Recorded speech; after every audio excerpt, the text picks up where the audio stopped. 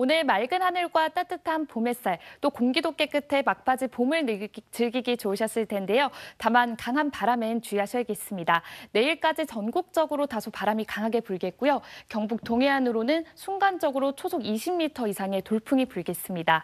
또 건조주의보가 발효 중인 경북 남부권으로는 화재 예방에도 신경 써주셔야겠습니다.